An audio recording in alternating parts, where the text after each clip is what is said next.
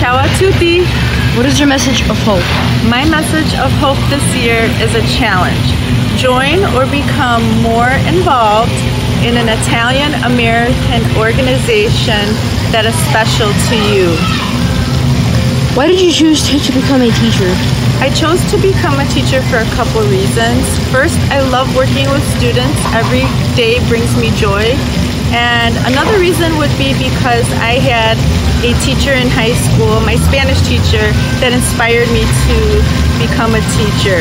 Her classroom really felt like a family, and her teaching style was innovative.